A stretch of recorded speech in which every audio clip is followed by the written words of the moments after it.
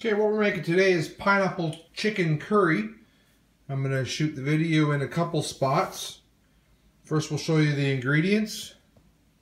What we've got is, well, not the beer, that's just for me. What we have here is I like to get the curry started right away in some coconut milk. It takes away that uh, little bit of bitterness and the gritty flavor that comes in curry or happens when you start to cook with it. So I like to get that into the bowl. In the bowl with the curry and the coconut milk, I'll put in some cayenne, hot paprika, and some turmeric.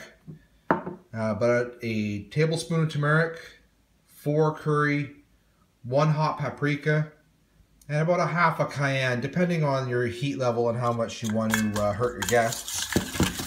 Give it a whisk and let that sit for a while. Do that first before you prep the rest of your vegetables and it should be good to go when you're ready. And then we get some, I like to use chicken thighs or deboned drumsticks. It has more flavor from the dark meat. I get that all chopped up into eh, a little bigger than bite-sized pieces. Mix it with some salt, pepper, a little more paprika, maybe about a tablespoon, and about a tablespoon of curry. Toss that, let that rest as well. We got about three carrots, cut up. Peppers, any color, cut them how you like them. And about a medium eggplant, cut it into bite-sized pieces.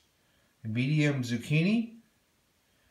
A large butternut squash, all roughly the same size pieces, so they cook about the same time. We do have some, oh, we got some stuff in the background. Got some cut up pineapple there. That's for the very end. And we have some onion. Please watch part, oh, and we, sorry, not a professional. We uh, also have two cups of peas. Watch the next section as we start to uh, put them all in the pot, and I'll show you how I make my pineapple curry chicken.